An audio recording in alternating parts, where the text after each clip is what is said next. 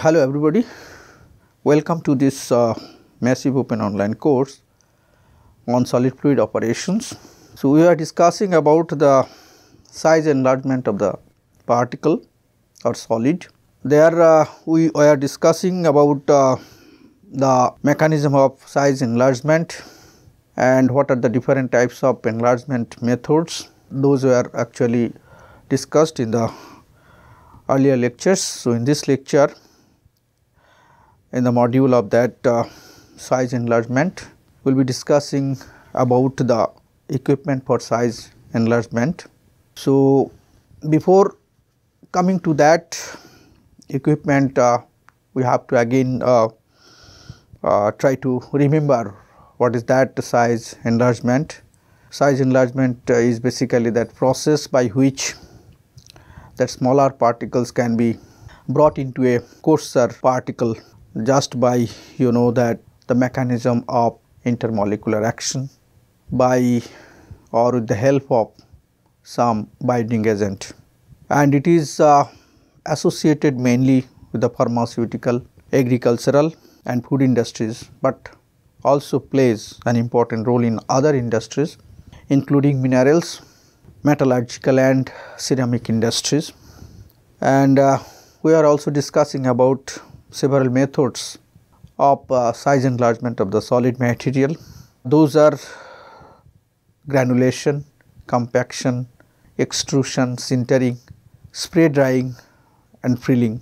And agglomeration is also another important uh, you know that enlargement method.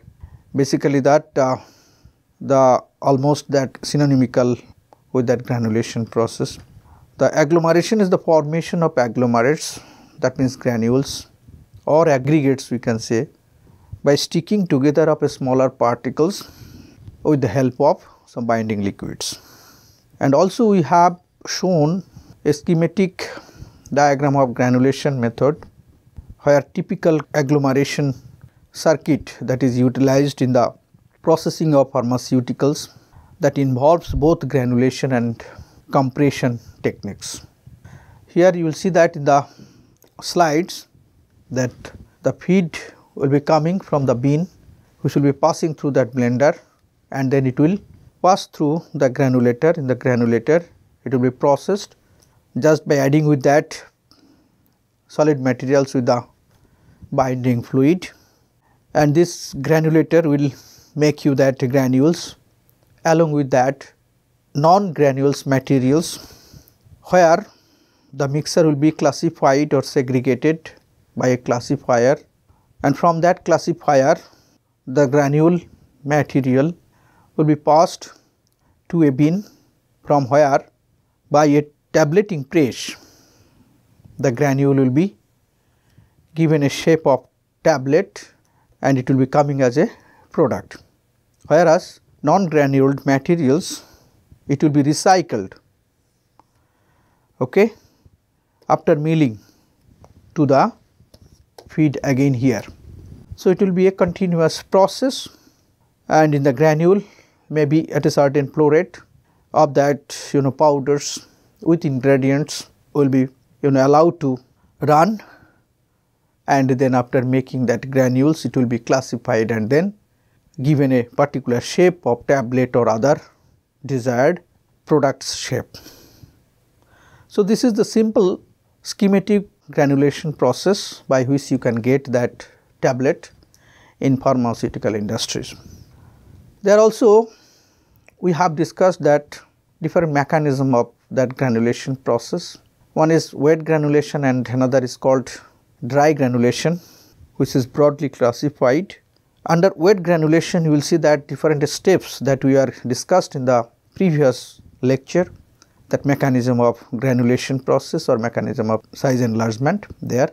So, in the case of wet granulation you will see that some hydrophobic drag and uh, some excipients liquids like binding solvent by which that molecules or you know that particles will be agglomerates making agglomerates just by intermolecular action making by that excipients liquid bridge between that liquid and solid and it happens based on that different uh, forces acting on that you know surface of the solid material and also contact angle of that solid material with the binding liquid.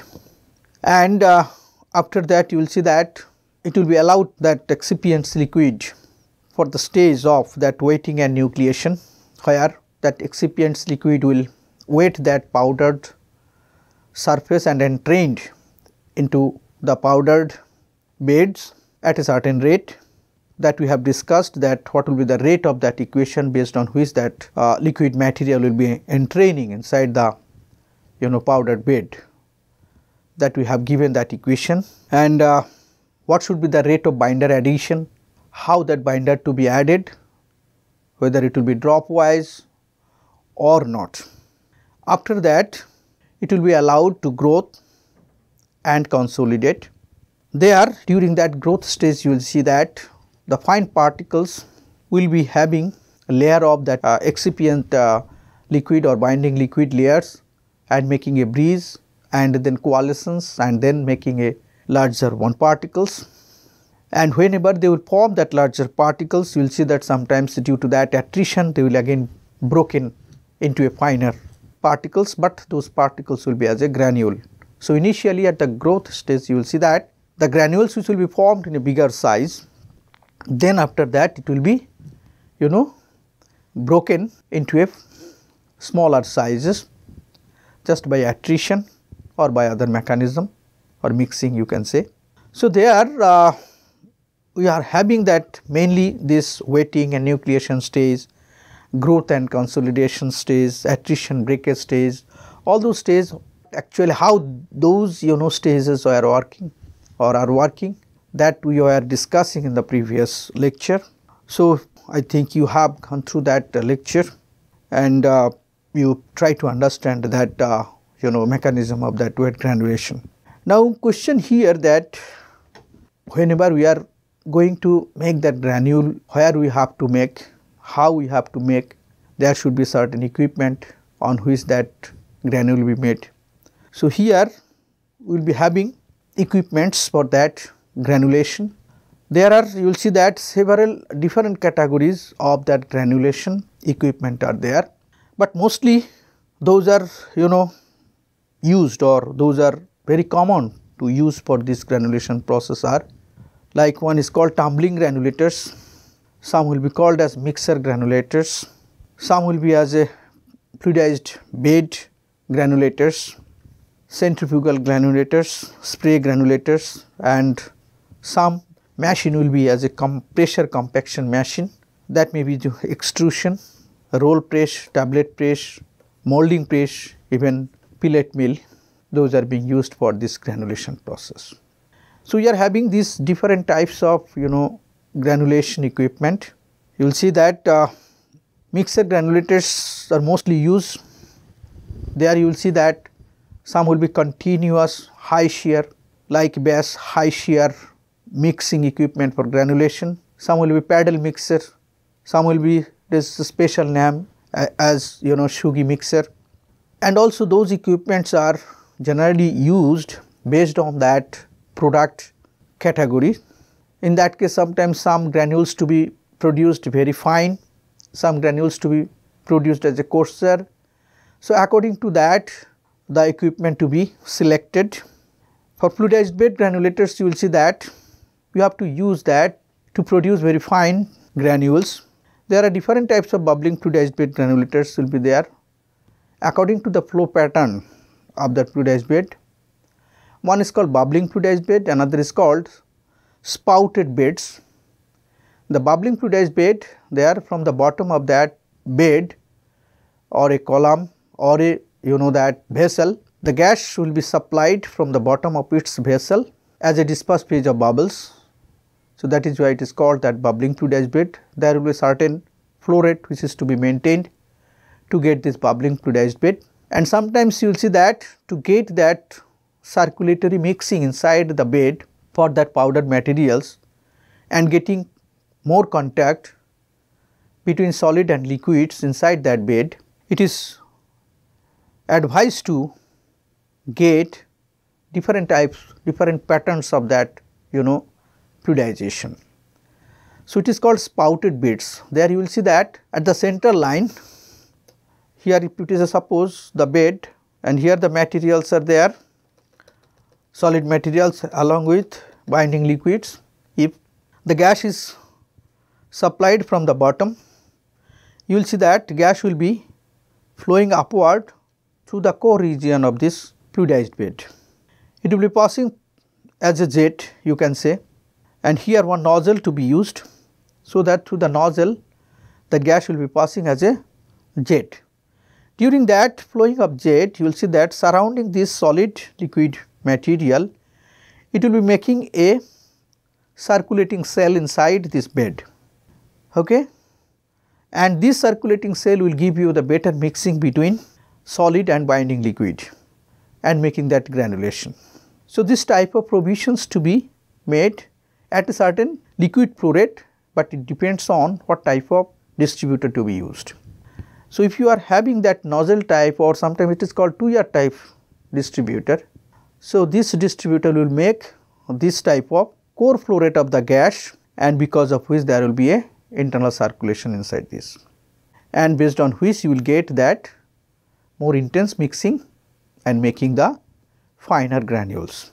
So, this is called spouting flow pattern which has happened in this fluidized bed. So, these are fluidized bed granulators. Another one is called centrifugal granulators. They are centrifugal action. There will be the solid materials will be rotating centrifugally and then you know that the solid materials will be coming in contact with the binding liquids which will be sprayed through a mechanical provision that I will show in the next slides onward. So, there it is called centrifugal granulators. Then spray granulators those are basically that binding liquid will be sprayed as a drop on the surface of powdered beds and where you will see that the powdered materials will be getting that weighted with respect to time and when all the powdered bed will be weighted and it will be mixed, it will be you know that sheared so that during that shear action that you know powdered bed will be coming in uh, granules.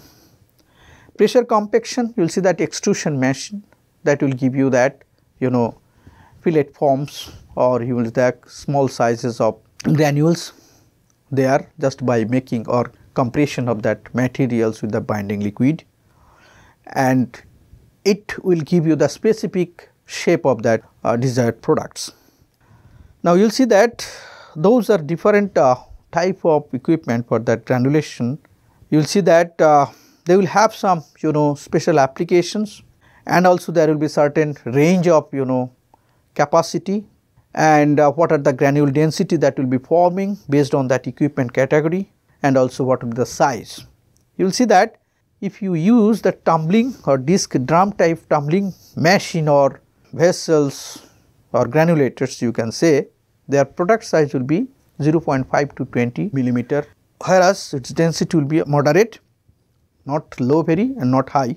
So, in that case you know it depends on what will be the throughput or capacity or flow rate of that you know excipients there and also what will be the powdered materials flow rate and what is the capacity for that. Suppose capacity is your 0.5 to 800 ton per hour, there you will expect that 0.5 to 20 millimeter product size by this tumbling machine. And in this case you will see that that granules will be forming almost spherical in size. These are generally used in fertilizers, iron ore, agricultural even chemical industries and then mixer type that granulators it may be continuous it may be batch or maybe you know that uh, transient condition you will see that uh, there may be high shear because their powder materials to be you know loose from its uh, still position. So, there whatever granule size will be formed that will be 0.1 to 2 millimeter in range and grain density will be less than you know 200 kg per bass and uh, your capacity will be less than 50 ton per hour a small capacity of these you know machines, but it will give you the finer granule size but you can handle it very gently. Main disadvantage is that cleaning of this you know mixture is very tough. So, in that case you can say though the handling is easier, but cleaning is not good. Operation is easier since there is no other mechanical parts which is moving inside that you know mixer. Generally chemicals, detergent, pharmaceuticals and ceramic industries they are using this type of mixer for granulation process. And then fluidized bed this is the special type where you can get again that finer granule size within a range of 0.1 to 2 millimeter, but here capacity will be high compared to that mixer. Okay. And also you can get high dense granular material. Here it is also good for coating and easy to scale up. It is generally used in fertilizer industries to make the detergents, even pharmaceutical industries to make that you know tablets, even in agricultural industries you can say that for making that pesticides, herbicides in the granule forms they are using this type of fluidized bed and uh, in fertilizer industry you will see that to make the urea making that granular forms of that urea they are using this fluidized bed you know granulator. In the case of centrifugal uh, granulators its product size will be 0.3 to 3.0 in millimeter density moderate to high whereas here capacity will be equal to up to 200 kg per batch. In this case powder layering and coating applications are feasible. Pharmaceuticals and agricultural chemicals production they are using this type of centrifugal granulators for their final products. Then spray granulators here you will see that it will give you the more finer granules. It is uh, within a range of 0.05 millimeter to 0.5 you know millimeter. So, it is a micron size you can say, but density will be very low and in this case you will see that morphology of that spray dried material can vary widely. So, this is one advantage it can be used or it is feasible to use for making instant foods, dyes, detergents, ceramics, even pharmaceutical products. Another important granulator is called Prilling granulators where urea and uh, ammonia nitrate production these are uh, very important. In this case that product size will be point size to 2 millimeter and the granule density is coming around you know you will see that uh, moderate and it may not be you know that uh, greater than 200 kg per batch and then uh, you will get pressure compactors. There are different types of pressure compactors like extrusion, roll press, tablet press, molding press, even pellet mill. In all you know that extrusion, roll press and tablet press you will see that their product granule size will be you know greater than 0.5 even 1 and 10 like this respectively. Here uh, you know granule density will be high to very high and uh, but uh, capacity is very low up to 5 ton per hour only. In this case whatever products you will get, you will get very fine size products and almost all the granule will be uniform in size that is why there will be a narrow size distribution of this you know product. And also these are very prone to powder flow and material properties. That is why we are getting that you know very high you know granule density. And also size will be very small. But in this case capacity will be less because of that material characteristics. And these are being used in uh, pharmaceuticals even to make the catalyst, inorganic and organic chemicals preparation and plastic preforms, even metal parts, ceramics, clays, minerals and animal feeds to make all those products these machines are being used. Here uh, one picture is shown about that tumbling granulator this tumbling granulator you will see that uh, it is uh, imparted to the particles in an uh, inclined cylinder generally called drum granulators or you can say it is a called a pan sometimes it is called disc granulators. In this case solid and liquids are you know fed continuously to the granulator and there will be a tumbling action that be rotating you will see that which gives rise to the rotational movement of that you know solid particles and uh, you will see that uh, during that tumbling action there will be a natural classification of the contents according to that size. So, that is why it is advantageous parallelly that you know formation of granules and separation. So, here you can get that narrow size distribution of the product. Whereas mixer granulator you will see that here as shown in the picture the motion of the particles is uh, brought about by some form of agitator that will be rotating at a low or high speed on a vertical or horizontal axis. And in this case rotation uh, you know speeds may vary from uh, 50 revolutions per minute in the case of horizontal mixers generally used in fertilizer industries for fertilizer uh, granulation and its uh, RPM will be increased up to 3000s in the case of vertical Schugi high shear continuous granulator which is generally used for making detergent and agricultural chemicals. And for vertical axis mixer you will see that is used by that pharmaceutical industry. In that case impeller speeds the main important point here. So, impeller speeds to be varied from 500 to 1500 rpm for mixer less than 30 centimeter in diameter. The mixer is less than 30 centimeter in diameter then only this rotational speed will be considered 500 to 1500 rpm. Whereas, if your mixer size will be larger than 1 meter in diameter in that case you have to control that rpm or you can say that rotational speed should be within a range of 50 to 200 rpm.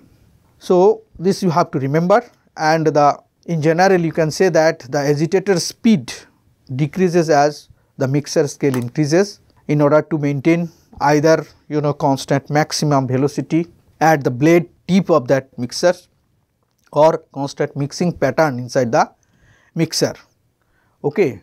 And also that constant mixer patterns to be depending on that you know Froude number that to be controlled as per design. Then fluidized bed granulator he has shown in the picture.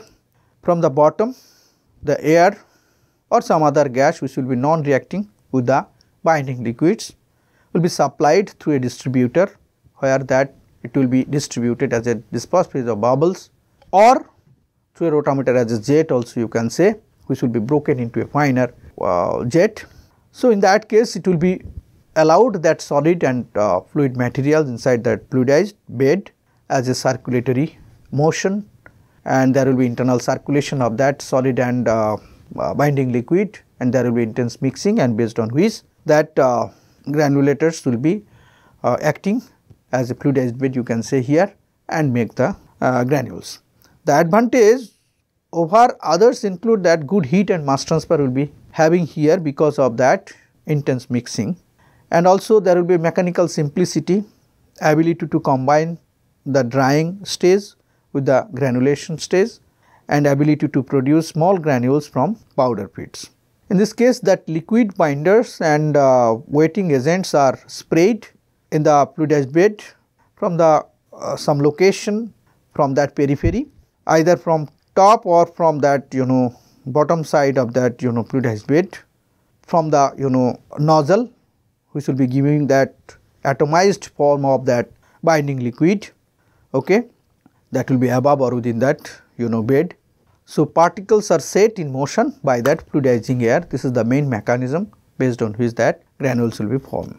So, here see that how that you know uh, liquid binder will be supplied from the top. You will see that there are different uh, way that will be supplied and it will be sprayed and over that solid material or you know can the powder bed.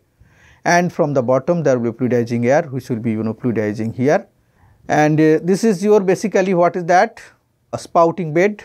Here from that you know core regions the jet will be here and that you know particles will be again going downward and it will be you know making a circulation over here and then getting the solid materials with that binding materials mixed and then uh, continuously with respect to time whenever that granules will be formed it will be taken out from that you know fluidized bed. And uh, whereas if fine you know particles which is coming out from that air it will be you know separated again by that you know cyclone separator and then particles again can be reused here in the you know fluidized bed. So, here see that how that solid materials will be getting that circulation inside that bed here. So, this is the main mechanism by which you can get that you know fluidized uh, bed granulators and based on which that you can get the granules. So, uh, here the different stage or different you know mechanism or pattern by which you can get that efficiency of that you know fluidized bed granulator for making that granules. So, it depends on flow pattern, okay, flow rate, particle characteristics, even you know that binding a liquid concentration as well as you can say that the distributor of this fluidized bed through which that gas will be supplied to make that you know flow pattern inside the bed. Then centrifugal granulators you will see that in the picture here you will see that hot air is blown upward hot air is blown upward okay between turntable and granulation area. This is turntable here shown and this is the granulated area. And you will see that the air here which will be coming to that turntable, it will be spraying or it will be sprayed inside that you know granulator which will cause that course to roll the binder solution then is sprayed on the rolling course through the pump and spray gun. So, here you will see that the air will cause the course to roll here. The binder solution is sprayed here this is the mechanism the spraying mechanism on the rolling course here this is the rolling course through the pump that you know binder liquid will be supplied and spray gun to be used to you know spray here and then rolling core will be spraying in this way. So, during that you know rolling of that you know materials just by spraying that you know or spreading that you know binding liquid by that circulating motion of that air you will see that the solid materials will come into contact with that spraying liquid and whenever it will come then of course it will form a coat. And after that you will see that there will be a drying operation.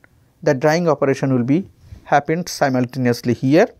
And if powder coating is required the fixed volume of powder is to be sprayed at a certain time okay? Whenever that continuously moving that gas inside the granulator and you will see that the solution whenever come in contact with that solid material during that movement the solution will coat the powder on the course and it will produce the pellet and get coating and drying simultaneously. Now, this type of granulator will be very promising due to its advantage of simple and compact structure.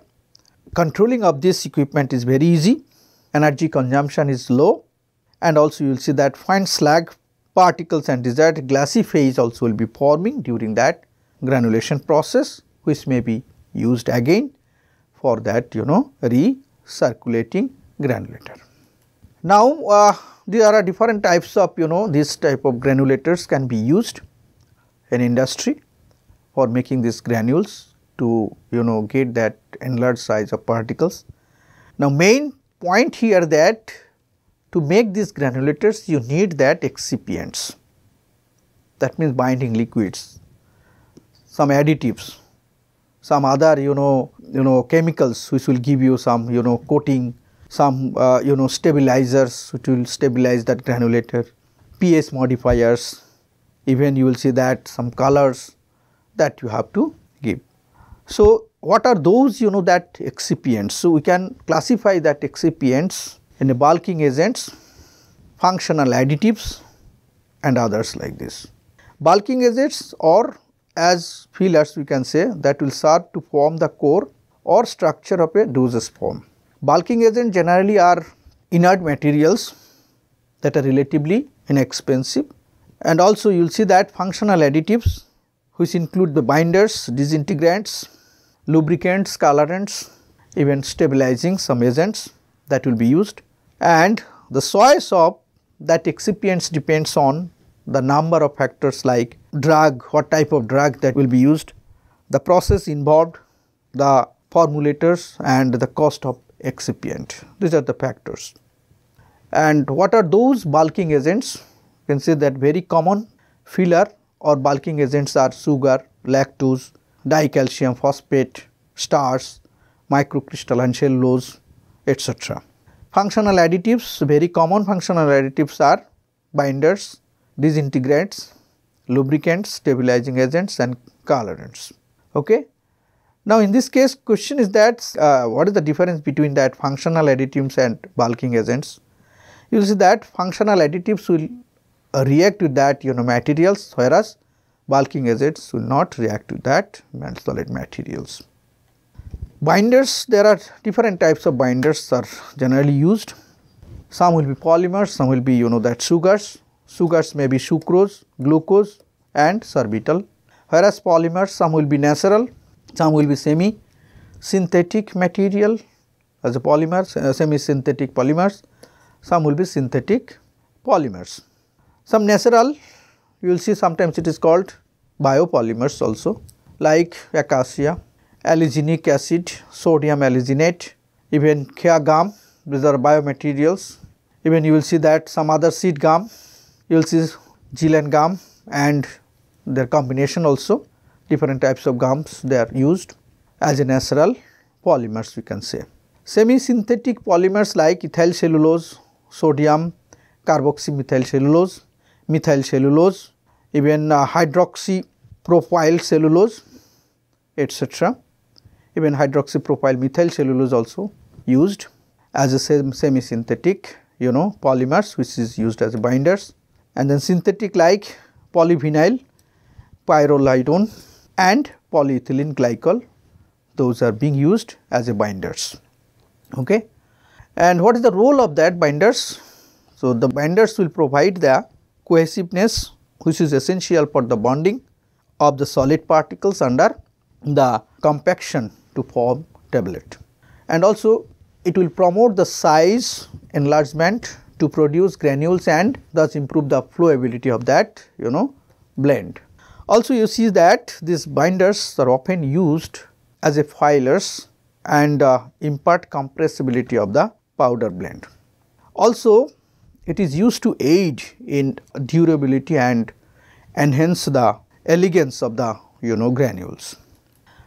Sometimes the disintegrants also being used for this you know granulation process to increase the hydrostatic pressure in the formulation when it comes in contact with the water. So, there you have to increase sometimes that hydrostatic pressure. So, it is responsible for ensuring the breakup of the tablet matrix upon ingestion. So, what is that uh, disintegrants like some will be you know that cross uh, carmellose sodium, some will be you know sodium starch glycolate, even uh, some will be you know low substituted uh, you know hydroxypropyl cellulose even some will be called as uh, crospovidone uh, like this. These are the different types of disintegrates to be used for the granulations process. And sometimes to increase the flowability by reducing the friction between the tablet and the die materials, you will see that sometimes you need to reduce that friction. So, for that you have to use some lubricants. What are those? Sometimes starch, talc powder, hydrogenated vegetable oil, stearic acid, wax, even it is called calcium stearate are being used as a lubricants, but mostly used as uh, magnesium stearate in industry as a lubricant. So, I think uh, you have uh, learned something about that what are the different types of equipments are generally used in industry for making granules and uh, also what are the different uh, types of binding liquids are being used for that granulation process along with other lubricants even other uh, disintegrants all those things. So, please go through the slides again to know better and you can follow other books uh, uh, which is given uh, for your reference I think you will be able to gain more uh, understanding on this uh, subject. So, this is basically that undergraduate level. So, these are the portion that will be covered. So, that is why I think this much is enough for you and in the next lecture we will try to uh, follow uh, the next module that will be you know flow past immersed bodies. In the next lecture we will try to understand what is the flow phenomena whenever it will be flowing over the cylinder or spherical particle. And uh, successively we will also discuss more about flow past of the you know solid materials. So thank you. Have a nice day.